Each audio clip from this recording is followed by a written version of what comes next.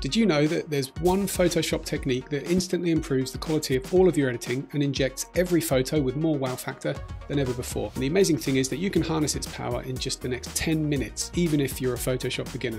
So in this video, I'm showing you what this transformational editing technique is, how it will improve every photo you create from now on, and how you can start using it by the end of this video, even if you're a total beginner. And plus I'm going to show you how you can take this same technique and use it to blend bracketed exposures to create stunning HDR images in just a few clicks. But first, one of the biggest problems that this technique fixes, and a mistake that I see photographers make all the time with their editing, is using inaccurate adjustments which leads to sloppy and amateurish results. For example, when Albert Bierstadt was painting his famous Yosemite Valley scene, creating that bright, beautiful light coming in from the distance, he didn't take a massive brush and just cover that entire area with lighter paint in one big brush stroke. He carefully and precisely painted exactly what he wanted to see, exactly where he wanted to see it. And that sounds ridiculous to say out loud, right? I mean, of course that's how it works.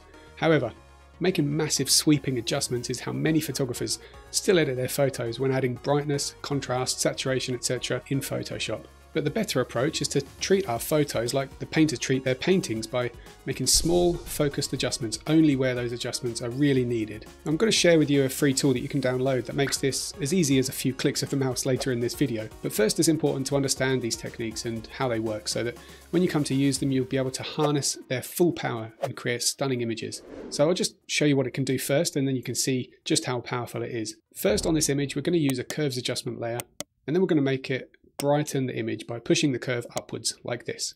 Now because we've used an adjustment layer, it comes with its own layer mask automatically, and you can use this to show or hide the adjustment in certain areas.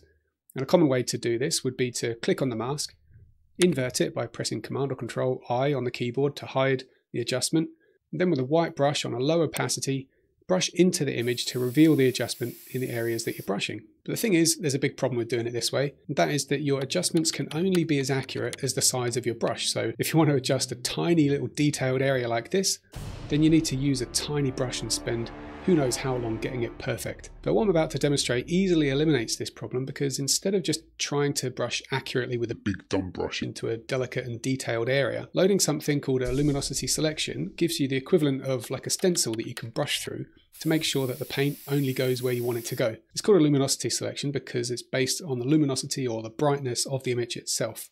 And that is how you can accurately target specific tonal ranges like shadows, midtones and highlights with your adjustments. So we'll run through a quick example and then I'll break it down into specific step-by-step -step instructions. So suppose we want to make three adjustments to this image. One, we want to lighten the darkest shadows underneath the rocks over here. Two, we want to add some contrast to the midtones in the image, avoiding the brightest highlights and the darkest shadows so that they don't over or underexpose. And three, we want to darken these bright highlights in the sky to recover some detail and color.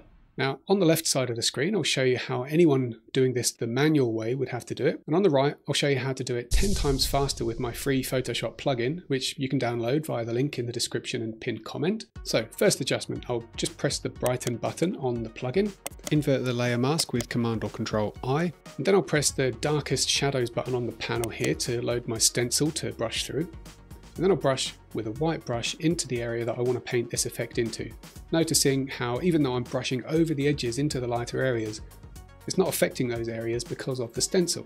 Right, second adjustment. This time I want the adjustment to affect the midtones in the whole image. So what I'm going to do is click on the midtones button first, and then I'll click the contrast button, and that's it, job done. We've added contrast to the midtones. Right, third adjustment. Let me press the darken button invert the layer mask with Command or Control I, and then one of the highlights buttons to load my highlights stencil.